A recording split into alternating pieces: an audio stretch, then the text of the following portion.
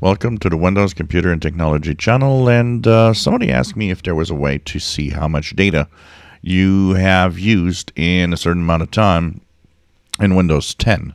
So, Windows 10 does keep track of the amount of data that you use in 30 days. And you can actually see it on your connection. The simplest way to see this in Windows 10, if you have Wi Fi, simply right click on the Wi-Fi connection. If it's Ethernet, you'll have the little computer uh, screen connection, internet, the Ethernet connection there. Right click on it too. You simply go to Open Network and Internet Settings.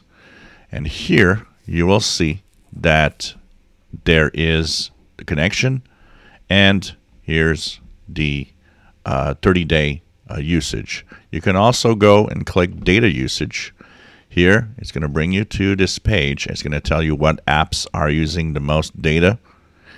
And you can actually enter a limit. You can say, well, I'm every month, I don't want to use more than a certain amount of megabytes or gigabytes. You choose your unit and click save. What happens is that when you set that limit, your internet is going to stop when it reaches that limit.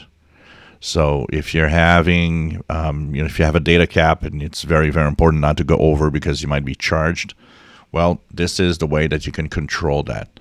So simply look at your connection. Look, it's going to tell you 30 days how much you've actually used. And you can, of course, go, like I said, to data usage to enter a limit if you need to, to do one.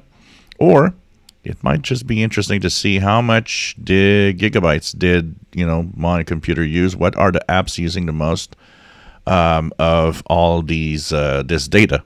And uh, of course in my case microsoft edge with the upload of videos. Um, this is pretty much the only functionality that i do with this machine do videos for windows 10 so that's a good idea to look at this. And once again, enter a limit if you wish not to go overboard of a certain uh, limit of data. Another thing that's interesting in here, because if you have multiple computers and you have the same data cap, you might want to uh, set limits per machine. So you have three Windows 10 machines. You can go to each machine and say, so I'm allowed 100 gigabytes a month. Um, how about I do 33 gigabytes on each machine? Which means that if they're used pretty much equally, they're all going to stop before you go overboard that 100 gigabytes. And of course, you can set specific amounts that total 100 gigabytes. So you can have one machine that's not used a lot. You can say, well, that one I will allow, you know, 10 gigabytes. One that is used a lot, I'm going to use, I'm going to set um, 60 gigabyte limit. And the other one that's used a little more, and you know the rest. So if you have 10 here, 60 here. You have 70 gigabytes. You can use the third machine. Say that one will be 30 gigabytes.